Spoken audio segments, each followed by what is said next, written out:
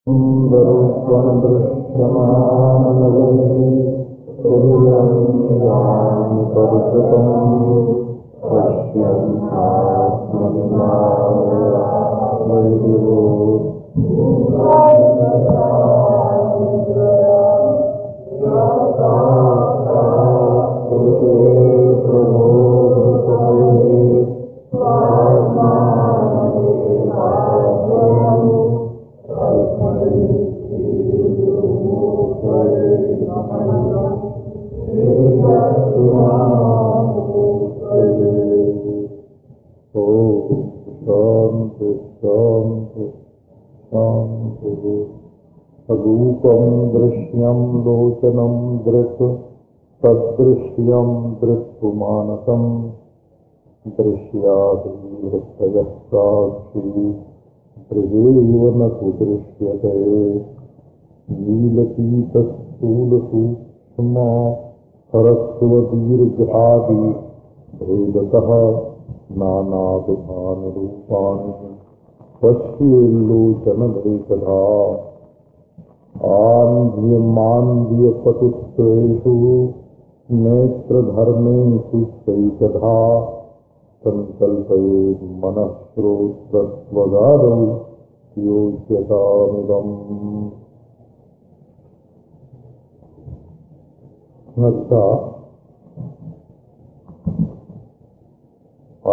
दृष्टा दृश्य प्रक्रिया। इसको वेदांत में प्रक्रिया बोलते हैं। विचार करने का एक प्रकार प्रक्रिया माने प्रकार ढंग शैली। प्रकार प्रक्रिया। प्रकार को ही प्रक्रिया कहते हैं। तो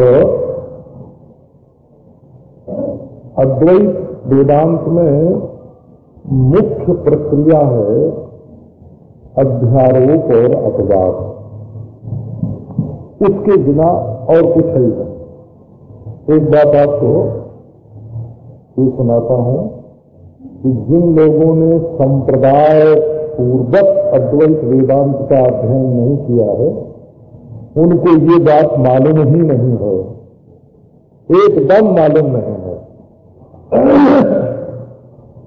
वो कहीं दृष्टादृश्य देखते हैं तो कहीं कार्य कारण देखते हैं तो कहीं पंच विकोष विवेक देखते हैं, कहीं अवस्थात्रय देखते हैं।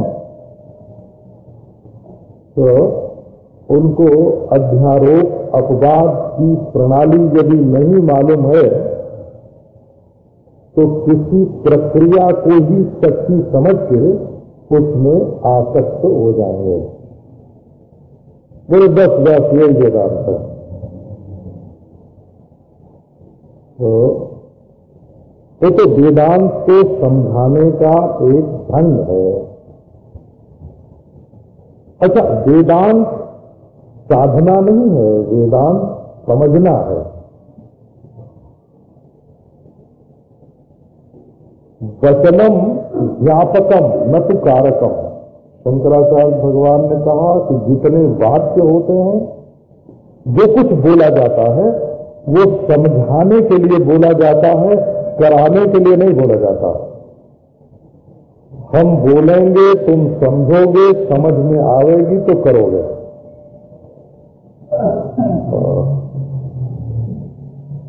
माने वाक्य के द्वारा ज्ञान दिया जाता है और ज्ञान फिर संसार के संबंध में होगा तो करने न करने का होगा।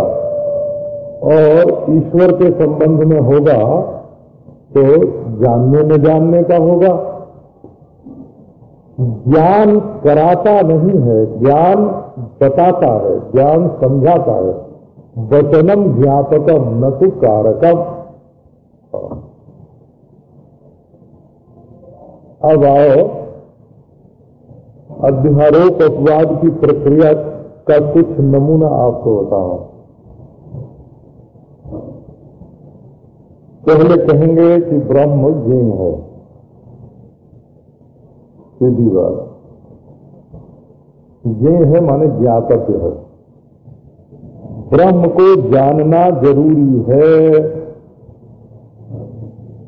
यदि ब्रह्म को नहीं जानोगे तो अपने को परिच्छिन्न जानते रहोगे और परिच्छिन्न जान, जानते रहोगे तो दुखी सुखी होते रहोगे पापी पुण्यात्मा होते रहोगे जीते मरते रहोगे बेवकूफ़ और समझदार बनते रहोगे संसार से तुम्हारी छुट्टी नहीं मिलेगी इसलिए जानने योग्य तो ब्रह्म ही है।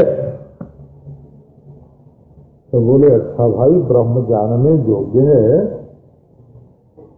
तो क्या ज्ञान का विषय है ब्रह्म? बोले लेते लेते अरे भाई ज्ञता जो है, वो कर्तव्यता की दृष्टि से बताई कि तुमको जानना चाहिए। ज्ञेय तो ज्ञान के विषय रूप से भी हो सकता है और ज्ञान के अविषय रूप से भी हो सकता है।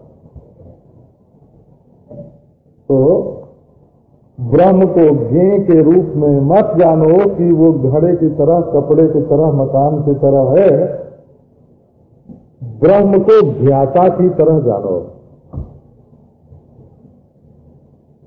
हाँ, तो अब ये तो भाई ब्रह्म को जानने से क्या होगा? बोले ब्रह्म मिल जाएगा। तो भगवान ब्रह्म क्या अनमिला है। तो नहीं ब्रह्म तो अनमिला नहीं है, ब्रह्म आपके नहीं होता आपके माने प्राप्त। फिर भी प्राप्यत्व का उसके ऊपर आरोप किया जाता है। क्या ब्रह्म मिलता है? बोले कि तुमको दुनिया मिलती है। जब दुनिया तुम्हारे दिमाग में मिली अनमिली भर रही है। तो इसको निकालने के लिए अगर ब्रह्म को भी मिलने वाला मान लो तो तुम्हारा क्या बिगड़ता है? इसका अर्थ है कि और कुछ भी आपके नहीं है, केवल ब्रह्म ही आपके है। दुनिया में प्राप्त करने योग्य दूसरी कोई वस्तु नहीं है, केवल ब्रह्म ही प्राप्त करने योग्य है। आत्मलाभात न परम विद्यते। आत्मलाभ से बढ़ करके दूसरी कोई वस्तु नहीं है। अपने को प्राप्त करो अपने को प्राप्त करो। बोले अपना अप्राप्त कहाँ है, हैं? तो अरे ये घट मठ की प्राप्ति में। हाँ ये सोना चांदी की प्राप्ति में बहु बेटी की प्राप्ति में पति पत्नी की प्राप्ति में ये तुम्हारा आत्मा जो है वो खो गया। मेरा हीरा हिराए गए कचरे में इस कचरे में पति, पत्नी के कचरे में, माँ बेटे के कचरे में, बहू बेटी के कचरे में, सोना चांदी के कचरे में, हीरा मोती के कचरे में छोटी छोटी चीज़ों के कचरे में ये हीरा खो गया है। मेरा हीरा हराए गए कचरे में। तो इसको ढूंढ निकालना है भाई। आत्मलाभात्म परम विद्यते।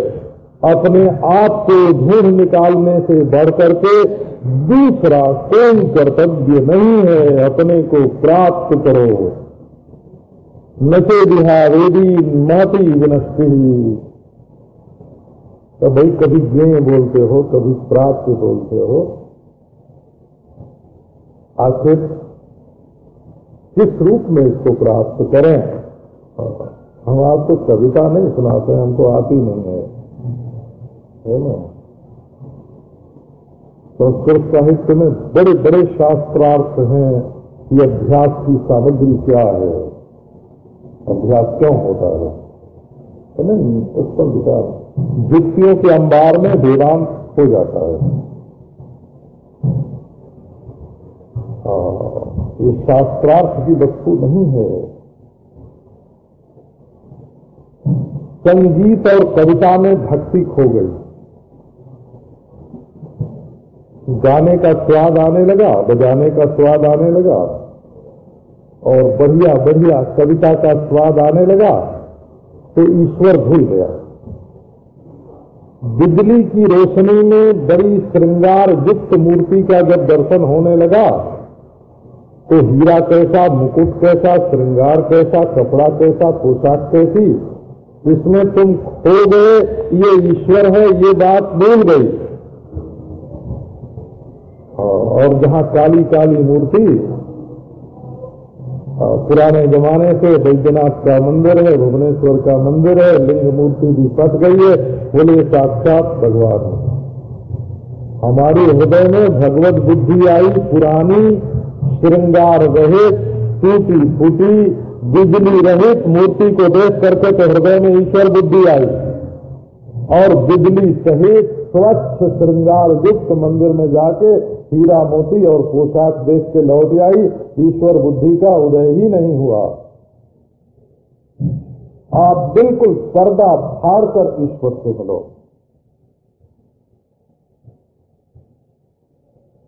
तो वेदांत ने कहा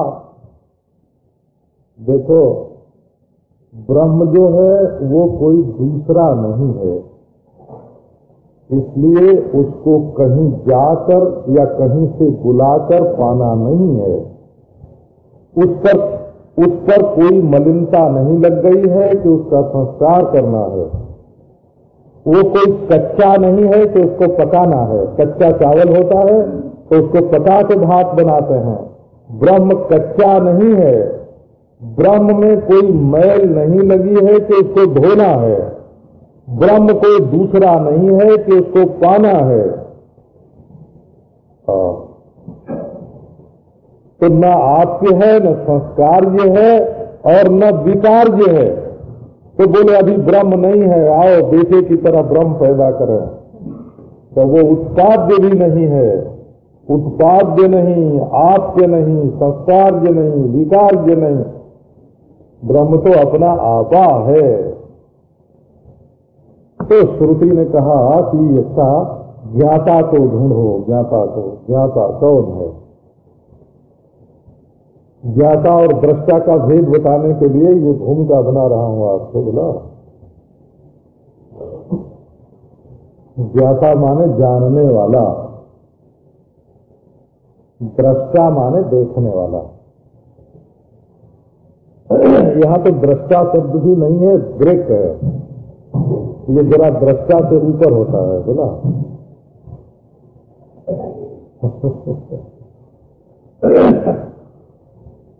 तो हे भगवान, आप तो देखो, जब हम किसी चीज़ को देखते हैं तो कितना परामर्श होता है।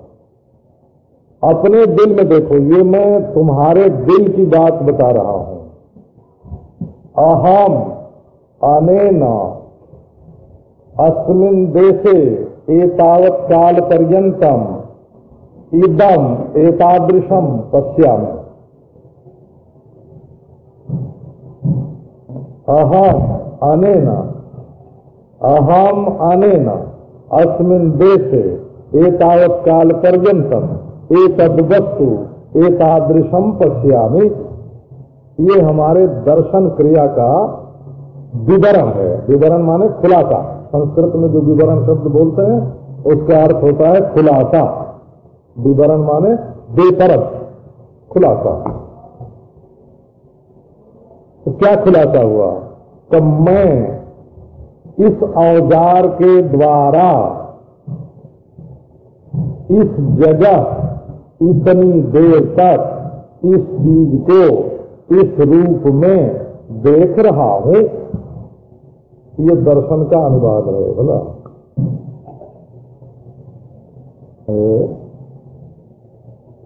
तो समझो कि मैं अंतकरण की वृत्ति, अथवा नेत्र आदि इंद्रियों के द्वारा बाहर या भीतर इतनी चीज़ को, गुलाब के फूल को लाल लाल या सुगंधित अनुभव कर रहा हूँ। आपकी दर्शन क्रिया में कितनी चीज़ है? पहले मैं है, फिर औज़ार, करण है, करण। फिर स्थान है, समय है, वस्तु है, और वस्तु का प्रकार है, और उसका दर्शन हो रहा है।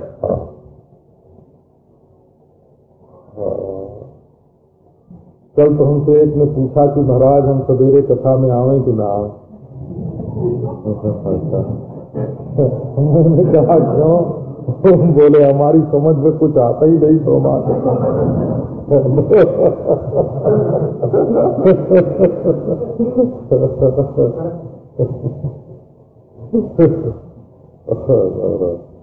तो अब देखो, अब ये ये ज्ञान व्यापार, जिसका मैंने वर्णन किया ना, इसका नाम क्या है? ज्ञान की प्रक्रिया, ज्ञान की व्यापृति। ज्ञान क्रिया कैसे होती है? तो अहम पश्यामी, मैं देखता हूँ। तो मैं और देखना, ये दोनों अलग अलग हो गए हैं। यद्यपि अलग नहीं हुए हैं पर अलग मालूम पड़ते हैं। मैं देखता हूँ। तब ऐसे भी बोलोगे कि मैं नहीं देखता हूँ। सपने में आ, आ, मैं ऐसा नहीं देखता हूँ दूसरा देखता हूँ। सुसुप्ति में मैं जागृत और स्वप्न की चीज़ों को नहीं देखता हूँ। अब देखो यहाँ देखना और न देखना, दोनों से अलग मैं मालूम पड़ता है। इसका अर्थ है कि ये जो देखना और न देखना है, ये उपाधि में है और अपना जो ज्ञान स्वरूप है, वो दोनों से न्यारा है।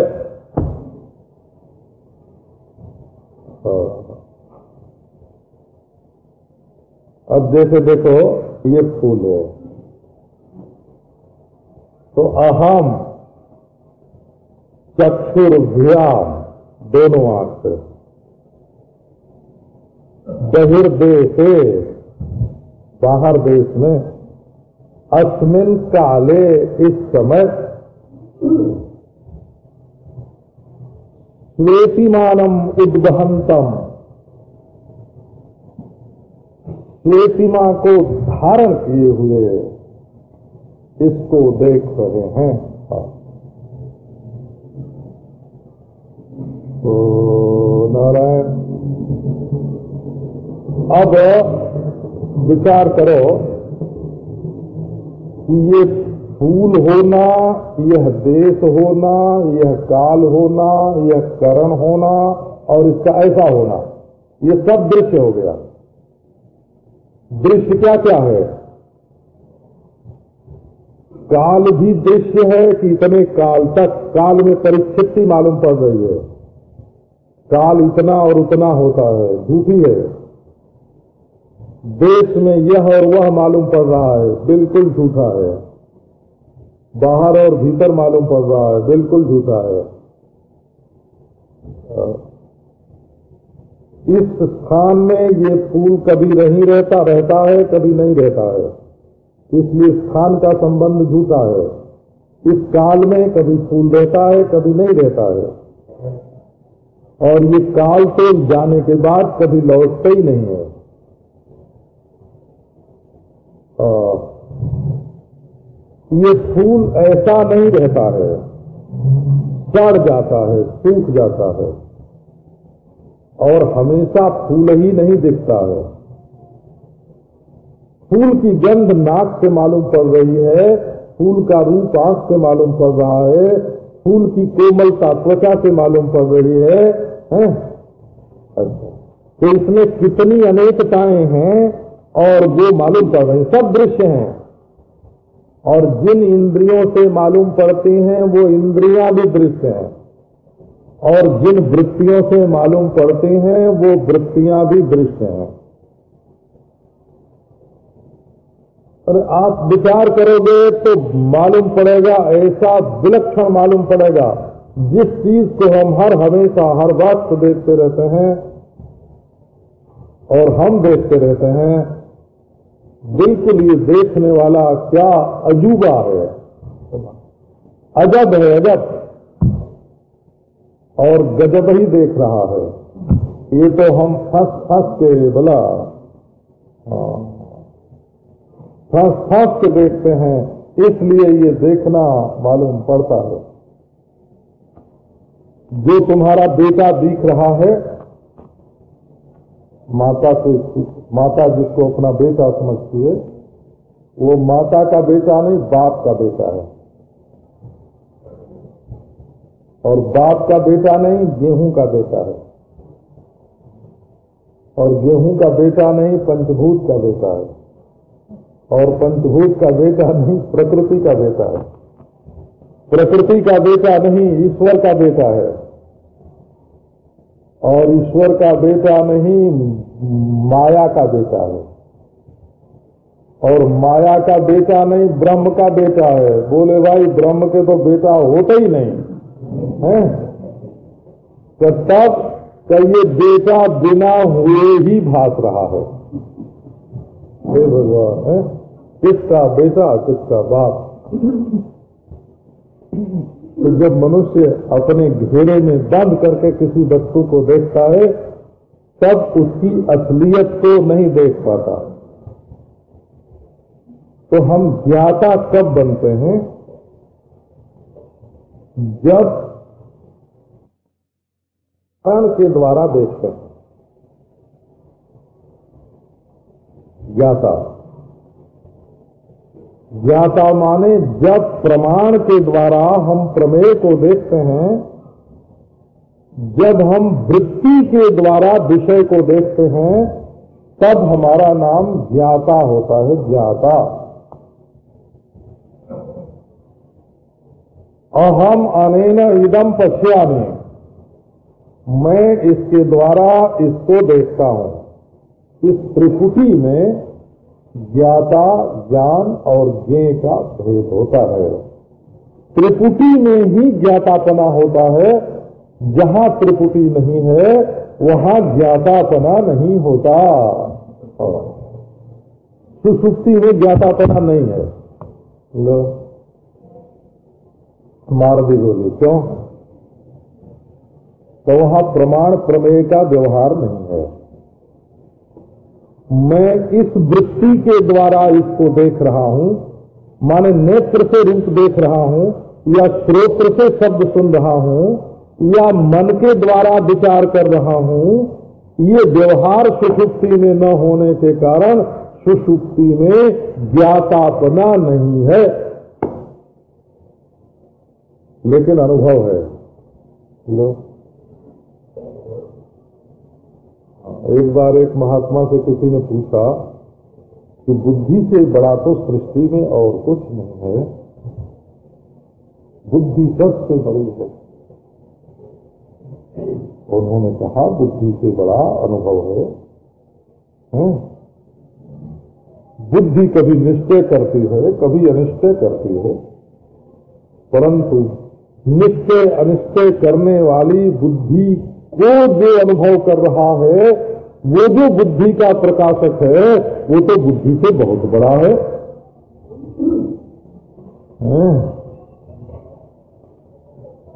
अब देखो, वेदांत की प्रक्रिया सुनाते हैं। कहानी तो नहीं सुना सकते। वेदांत की प्रक्रिया सुनाते हैं। अंतकरणावच्छिन्न चैतन्य को जीव कहते हैं। और अंत करणाभावावच्छिन्न चैतन्य को ईश्वर कहते हैं। और अनवच्छिन्न चैतन्य को ब्रह्म कहते हैं। नारायण, विचार नहीं करोगे तो कहीं न कहीं फंसोगे।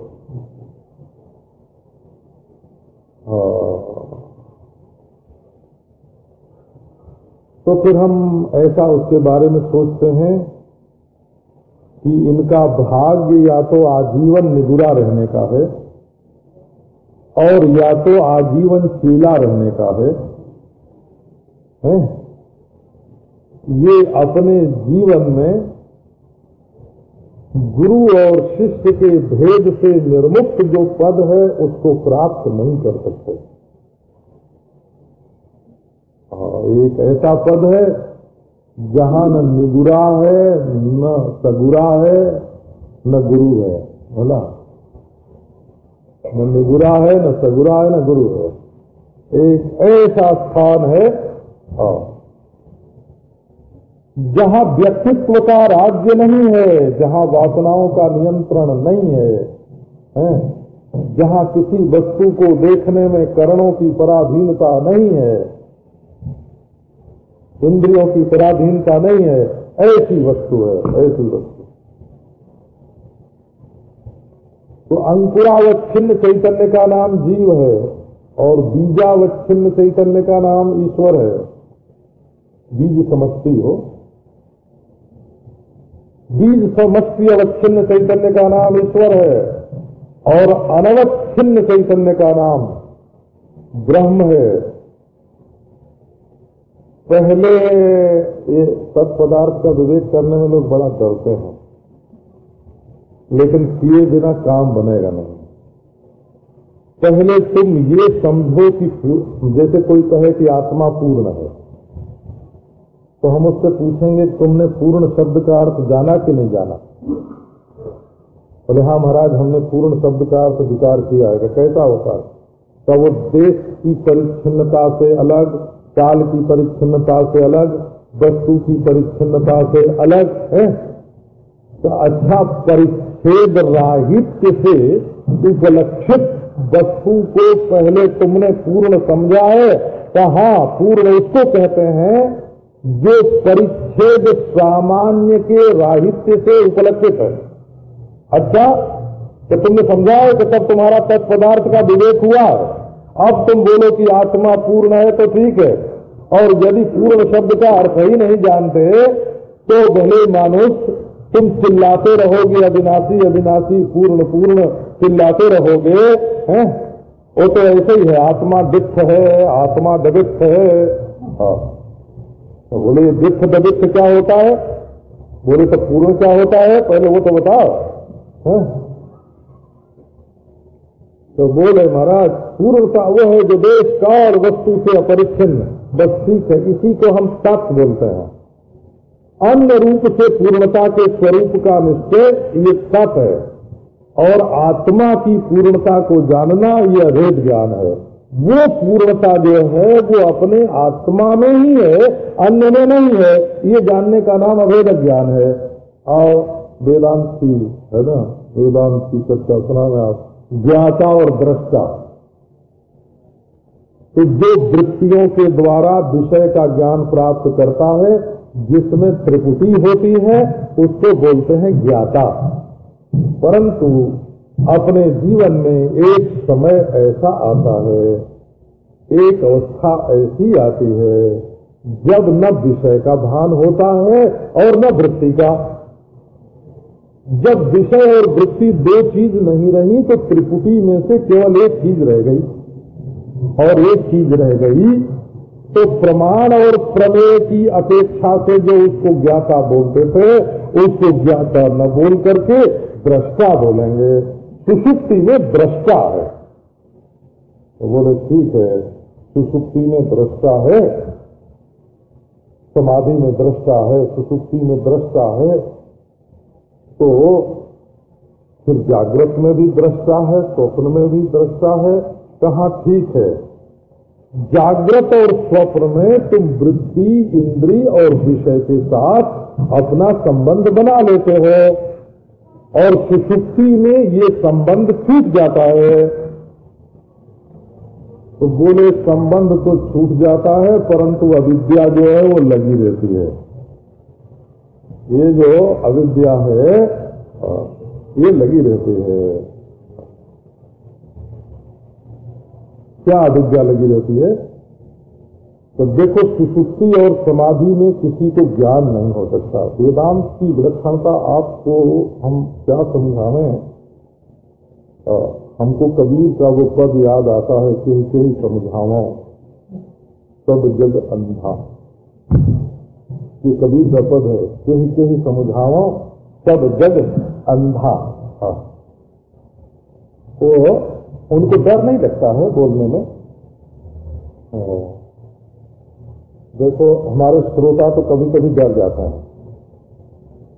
हाँ तो कहते हैं स्वामी जी महाराज, माफ़ करना, मैं आज जरा पंद्रह मिनट देर से आया। तो माने आपके ना आने से मैं आप पर नाराज़ हो जाऊँगा, ये आपका ख्याल होगा, तभी तो आप कहते हैं कि माफ़ करना। है? तो भाई, ये तो जिसके अंदर जिज्ञासा हो, जिसमें रुचि हो, है ना? जिसको अज्ञान काटता हो, दिल में कि हाय हाय, है ना? दुख से तुम उद्विग्न होते हो, लेकिन अज्ञान से उद्विग्न नहीं होते। जिसको अज्ञान नहीं सताता है, उसके लिए वेदांत ज्ञान कठिन है। जो अज्ञान के उद्वेग को अनुभव करता है कि हाय हाय, मैं अंधेरे में भटक रहा हूँ तो हमारा जिज्ञासु कैसा होना चाहिए? बोले, महाराज, हमको सच का ज्ञान बता दो। हैं? बोले, भाई, सच का ज्ञान होने से कुछ मिलने जुलने वाला नहीं है। तो बोले, न मिले, महाराज। तो बोले, अरे, छूट जाएगा तुम्हारा, स्वर्ग नहीं मिलेगा तुमको। तो बोले, ठीक है, हम नरक में रहना पसंद करते हैं, लेकिन हम सत्य के ज्ञान के बिना रहना पसंद नहीं करते। सत्य के ज्ञान से जिसकी इतनी प्रीति है। हाँ। ईश्वर सत्य हो तो हमको चाहिए। और अगर ईश्वर सत्य हो, न हो तो नहीं चाहिए। है ना? अगर नरक ही सत्य हो तो हम अनंत काल तक नरक में रहने के लिए तैयार हैं, लेकिन हमको सत्य का ज्ञान चाहिए। जिसको सत्य के ज्ञान की प्यास नहीं है वो सत्य के ज्ञान का अधिकारी नहीं है। हाँ गौरी ढूंढन चली, रही किनारे बैठ नारायण, ये ज्ञ और ज्ञान की रस्सी अपने गले में बाँध कर बैठे हुए हैं, ज्ञाता। नारायण, आपको समझना चाहिए, ये तत्व ज्ञान हिमालय में भगाने के लिए नहीं है, गुफा में ले जाने के लिए नहीं है योग में सच्ची समाधि में बैठाने के लिए नहीं है निवृत्ति परायण करने के लिए नहीं है। ये तो सच्चाई का ज्ञान है और ये आपको जीते, जाते, जागते, जागृत में जागृत अवस्था में होने की चीज़ है। ये नशा पी के आप बेहोश हो जाएँ उसमें आप ज्ञानी हैं, ऐसा न समझें। कोई अभ्यास प्रक्रिया करके आप जगत का भार मिटा दें, उसमें आप ज्ञानी हैं, ऐसा न समझें। आप सुसुप्ति अवस्था में ज्ञानी हैं, ऐसा न समझें। आप समाधि अवस्था में ज्ञानी हैं, ऐसा न समझें। अज्ञान को निवारण करने वाली वृत्ति यदि उदय नहीं होगी, जिस अज्ञान के, अपने जिस स्वरूप के अज्ञान के कारण, अपनी अद्वितीयता, अपनी ब्रह्मता, के अज्ञान से आप जीव बने बैठे हो, जब तक वो अपनी ब्रह्मता और अपनी अद्वितीयता को ज्ञात कराने वाली वृत्ति का उदय नहीं होगा। वेदांत की प्रक्रिया शून्यता नहीं है, वेदांत की प्रक्रिया समाधि नहीं है, वेदांत की प्रक्रिया सुषुप्ति अवस्था में जाना नहीं है। वेदांत की प्रक्रिया एक ऐसा जीता, जागता, जागृत अवस्था का ज्ञान है जो अज्ञान को बिल्कुल सफाचक कर देता है। योगी आप बन सकते हैं, आप विवेकी बन सकते हैं, आप उपासक बन सकते हैं। निरोध समाधि में बैठ सकते हैं। परंतु खुले नयन परमार्थ देखूँ, ये ये जो है परमार्थ, ये प्रपंच भी अद्वितीय ब्रह्म ही है।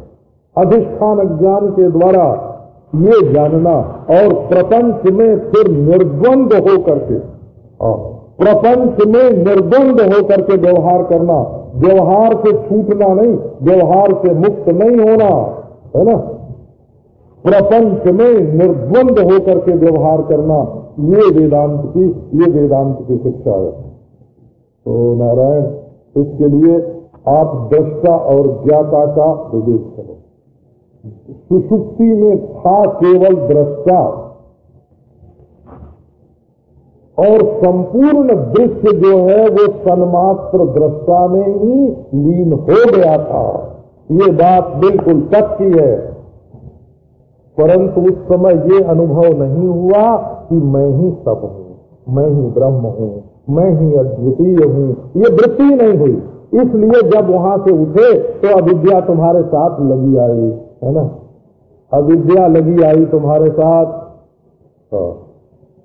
और अविद्या लगी आई तो जागृत और स्वप्न में क्या सोचा? ये मेरा अंतकरण और मेरी इंद्रिया है, मेरा देह, मेरा परिवार, मेरा कर्म, पापी पुण्यात्मा और मेरा सुख और दुख। मैं सुखी और दुखी, मैं नारकी और स्वर्गी।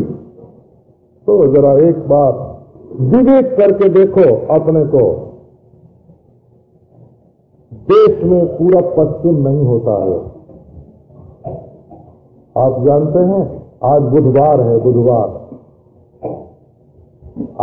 सात दिन में फिर आठवें दिन फिर बुधवार आने वाला है। यही बुधवार आएगा कि दूसरा आएगा? अब ये नहीं आएगा बोला अब ये नहीं आएगा। हाँ, एकादशी बार बार नहीं आती। नई नई एकादशी आती है काल में संस्कार नहीं होता। सचमुच वो सचमुच त्रेता द्वापर काल में नहीं होता है। ये बात सच की है बिल्कुल। और देश में पूर्व, पश्चिम, बाहर भीतर नहीं होता। कलेजा और कलेजे के बाहर ये दिख तत्व में नहीं होता। संस्कार, मिट्टी, पानी, आग में नहीं होता भला। आग फूकने पर अंगूर भी जल जाएगा, आम भी जल जाएगा। आग में जलाने पर न अंगूर रहेगा, न आम और माटी रहेगी। सत्ता में भी संस्कार नहीं होता। संस्कार जो है, ये हमारे मन में जो मोह है ना, वस्तुओं के संबंध में, उस मोह से अविद्या से केवल संस्कार की उत्पत्ति होती है। तो ये आपका जो दृष्ट, आप जो दृष्टा है। विषय के दृष्टा, इंद्रियों के दृष्टा, देह के दृष्टा, मनोवृत्तियों के दृष्टा, जागृत स्वप्न सुसुप्ति के दृष्टा। ये दृष्टा भी आरोप अपवाद सिद्धांत के अनुसार ही है, ये हम बताएँगे बाद में बोला कईस नेति नेति की। ये जो दृष्टा है गुरुदेव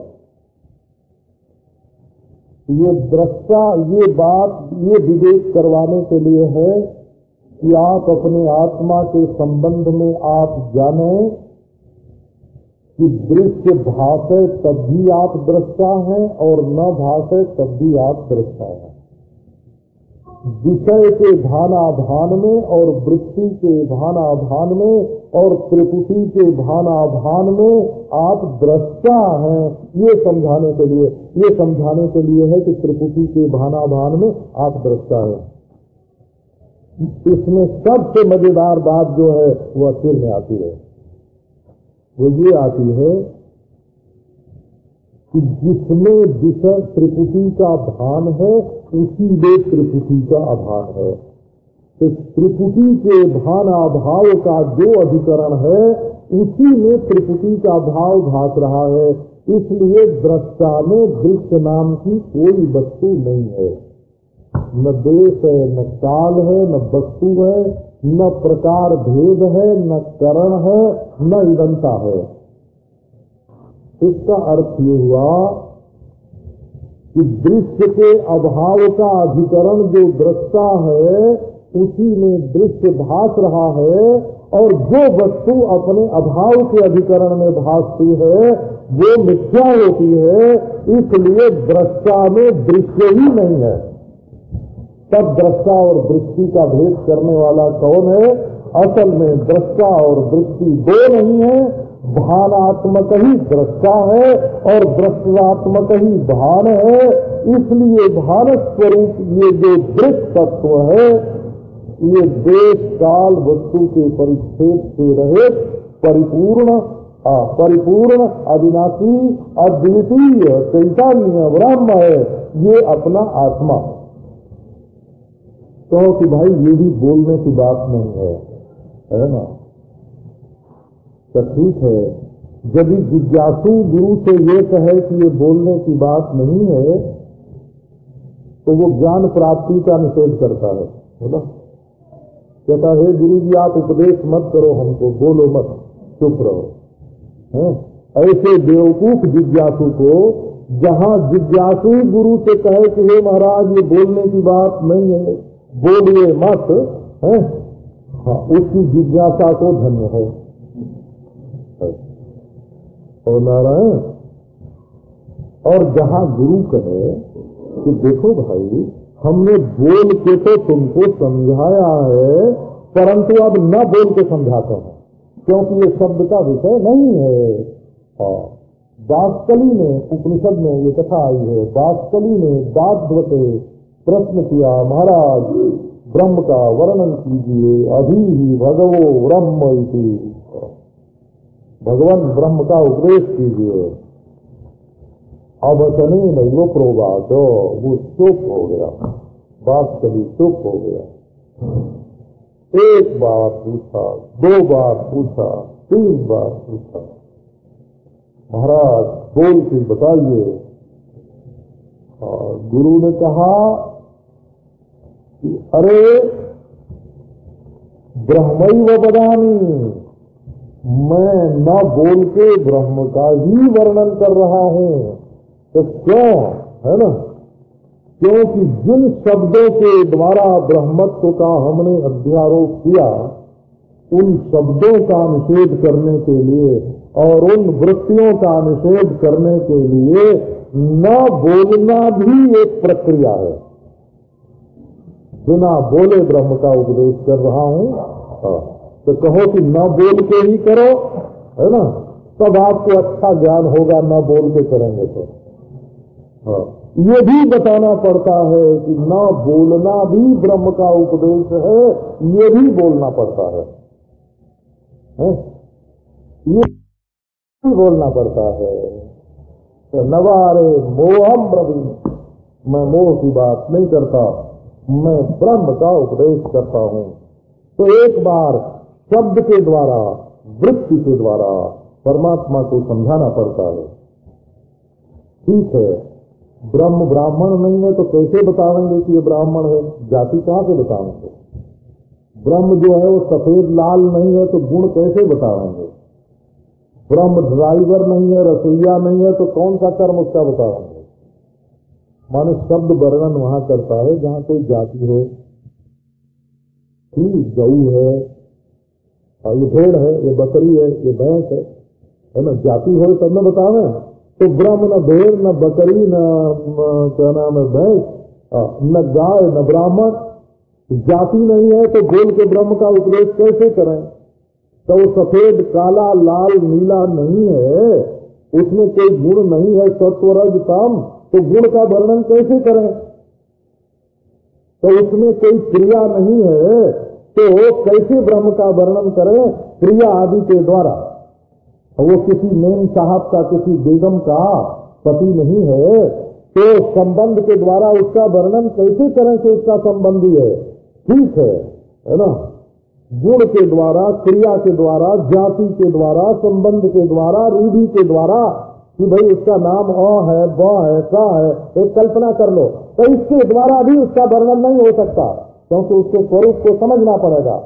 परंतु पहले वर्णन करते करते करते करते, है ना, वहाँ तक पहुंचाना पड़ता है और वहाँ पहुंचाकर संकेत करके तत्वमसी, है ना, संकेत करके चुप हो जाना पड़ता है और जिज्ञासु अपने आप को अद्वितीय ब्रह्म जानकर, उसमें न कार्य है, न कारण है, न पंचकोश है न तीन अवस्था है, न ज्ञातापना है, न दृष्टापना है ए? और ये सब तदनन्य, तदनन्यत्वम, उसके सिवाय दूसरी कोई वस्तु नहीं है। ऐसे ब्रह्म को समझाना पड़ता है। तो इसको समझाने की प्रक्रिया क्या है? समझाने की प्रक्रिया ये है कि आपकी जो भी वृत्तियाँ हैं, वो दृश्य हैं। दृश्या धी वृत्तय हिंदी में तो धी माने बेटी होता है बोला जानते नारायण, एक ही हमारे हिंदी में एक कहावत है, मोरी धिया के बड़ा दुलार मोरी, मेरी बेटी का बहुत दुलार है, बहुत प्यार है। क्या बोले, हारी भाड़ी छुए न पावे? है ना? किसी नीच किसी की लड़की हो उसी जात में जाई गई। तो आ करके उसकी माँ से लोग पूछते थे कि तुम्हारी बेटी ससुराल में सुख से तो है।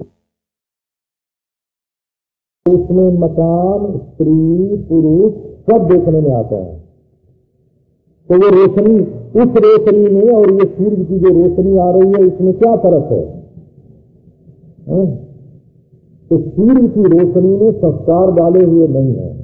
और सिनेमा घर में जो रोशनी आती है वो फ़िल्म के संस्कार को छान कर फ़िल्म के संस्कारों को लेकर आती है, है?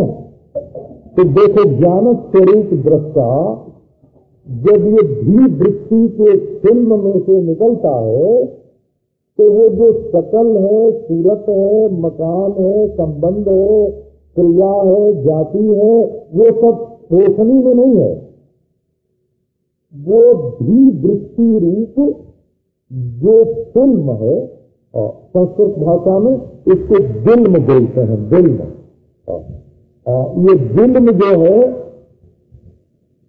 ये ऐसा नहीं है कि जाके तुम किसी लघु कौमुदी पढ़ने वाले से पूछ लोगे ये दिल्म शब्द कहाँ है तो बता देगा बोला व्याकरण के शास्त्रीय आचार्य को भी नहीं मालूम होगा कि दिल्म शब्द कहाँ है। ऐसा तो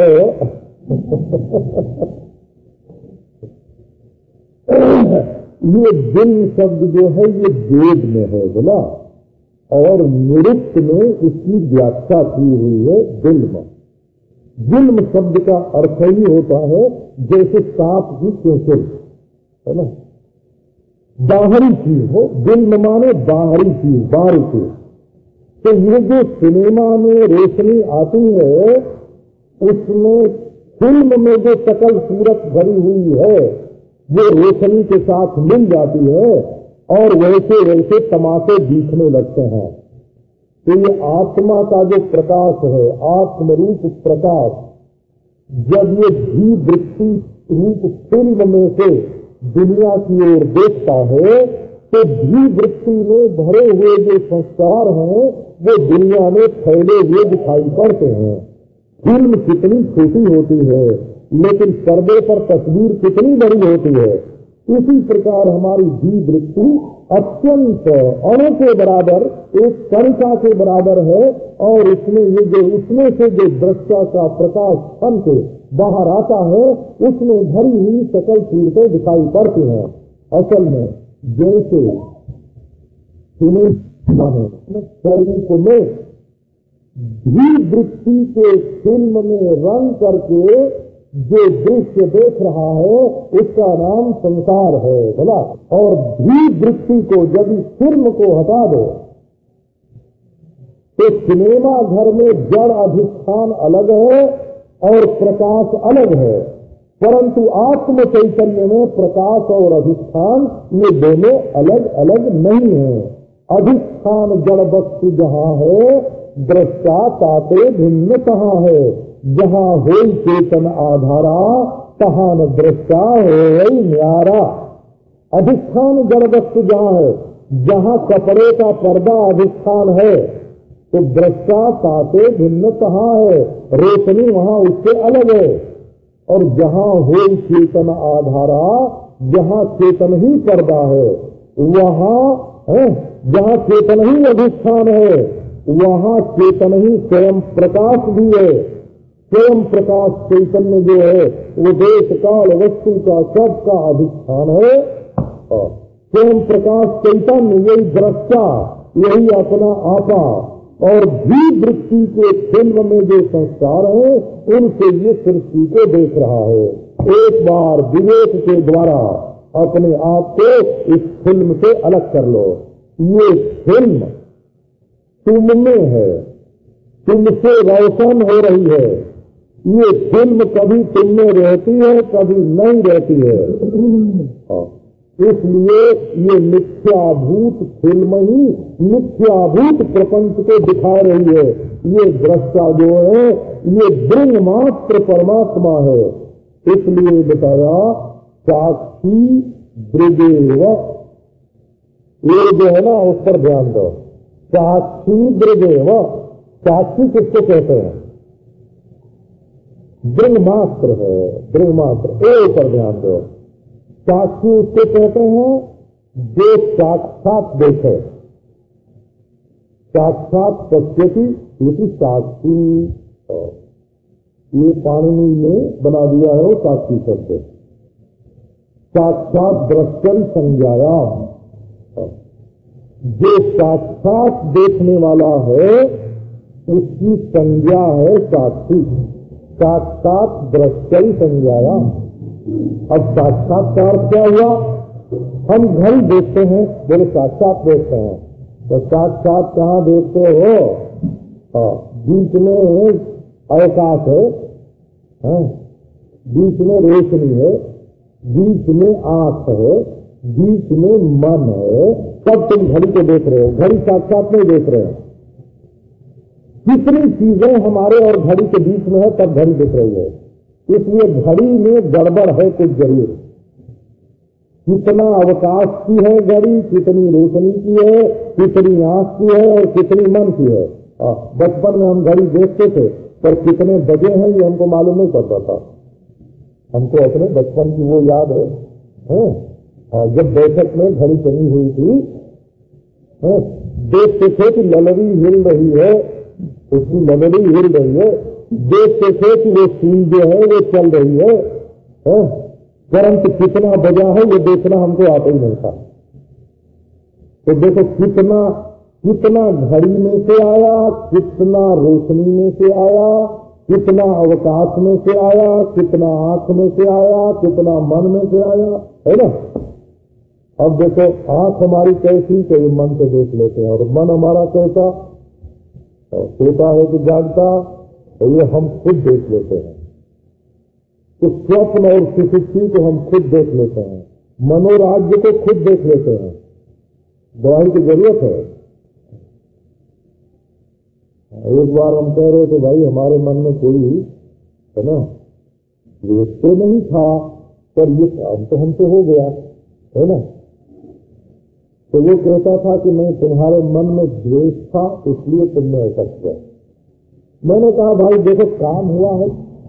तो भले मानो नींद आएगी तो हमको मालूम पड़ेगी कि तुमको मालूम पड़ेगी।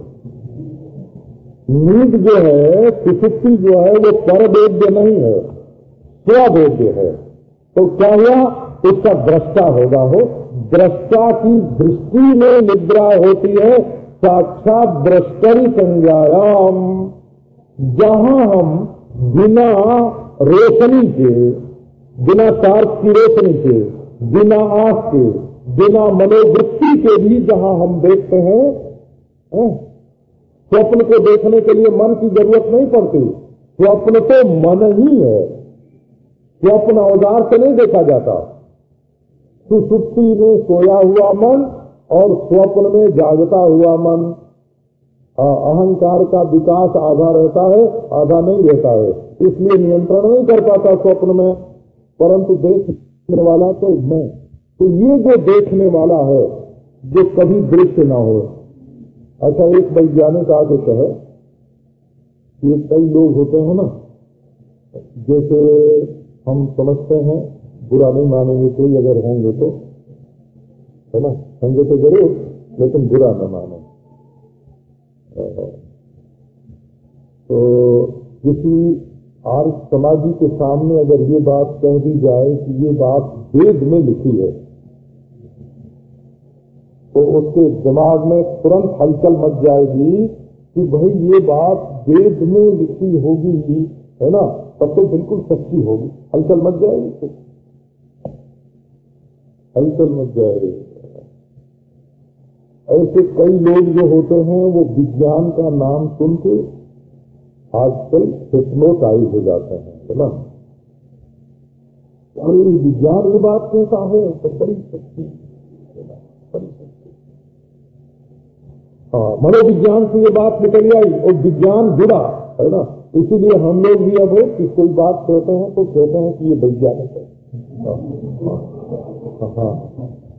ये जिन लोगों का दिमाग जो है ना जिन है, है, क्या बोलते हैं कल हमारे साथ तो क्या एक चिट्ठी आई थी ना मेंटल आ, मैं उनका मेंटल बैलेंस बिगड़ गया है। तो जिन लोगों का साइंस का नाम सुनते सुनते साइंस का नाम सुनते सुनते मेंटल बैलेंस जिनका बिगड़ गया है। तुम्हारी आत्मा को पकड़ लिया है बोला। और अब हम उसकी एक जो गति एक गोली बना रहे हैं, है ना? एक रसायन बना रहे हैं सीसी में भर के तुम्हारी आत्मा को बेचेंगे? तो ये लोग महाराज, जो साइंस से हिप्नोटाइज है, वो मान लेंगे कि हाँ बात बिल्कुल सच्ची है, अब आत्मा बाज़ार में बिक रही है। देखो, हम आत्मा किसको कहते हैं? आप ये ध्यान दो। दृगेव न तो दृश्यते, वो दृष्टा ही है, दृश्य नहीं। जिस चीज़ को दृश्य के रूप में हमारे सामने कोई उपस्थित करेगा, है? वो दृष्टा कैसे है? वो दृग ही कैसे है?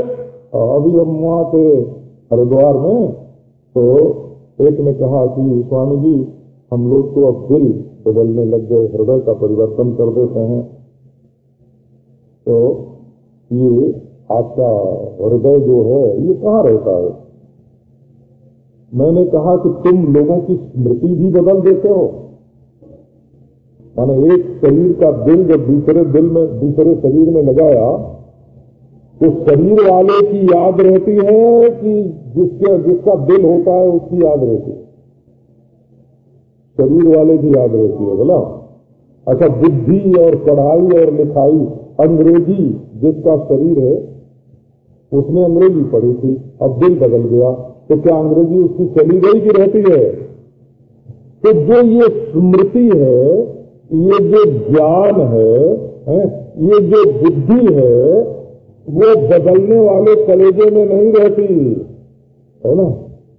वो रक्त में वीर जो है वीर्य में भी तारे की तरह सूक्ष्म एक चेतना है, उस चेतना में ये सब स्मृतियाँ और बुद्धियाँ लिखती हुई रहती हैं। वो भी कभी रहती हैं और कभी नहीं रहते हैं। और ये जो केवल दृढ़ मात्र देखने वाला, देखने वाले, देखने वाला नहीं, देखना। देखना मात्र, जिसमें देखने वाला और देखे जाने वाले का भेद नहीं है। उसको दृश्य कहते हैं। है? वो दृश्य नहीं होगा। आप कभी साइंस से हिप्नोटाइज मत होना कि हमारी आत्मा अब गोली बनकर सीसी में दिख रही है, दृश्य हो गई ये रसायन हो गई ये ऑपरेशन करके उसको एक शरीर से दूसरे शरीर में डाल दिया गया, निकाल ली गई तो ऐसा कभी नहीं सोचना। वो दृश्य है ही नहीं। सृष्टि में उसकी सृष्टि नहीं होती, प्रलय में उसका प्रलय नहीं होता। शरीर का जन्म होने से उसका जन्म नहीं होता, मृत्यु होने से मृत्यु नहीं होती। और अंतकरण के नरक में जाने से वो नरक में नहीं जाता, और अंतकरण के स्वर्ग में जाने से वो स्वर्ग में नहीं जाता। स्वर्गाकार, नरकाकार अंतकरण हुआ करता है, आना जाना मालूम पड़ा करता है। और क्या नाम है, जन्म मृत्यु की प्रतीति होती रहती है, और वो दृढ़ मात्र वस्तु जो है, वो ज्यो का क्यों किसी देश में नहीं, किसी काल में नहीं, किसी द्रव्य के रूप में नहीं, स्वयं प्रकाश ज्ञान स्वरूप ज्यो का क्यों रहता है। ओम शांति शांति शांति।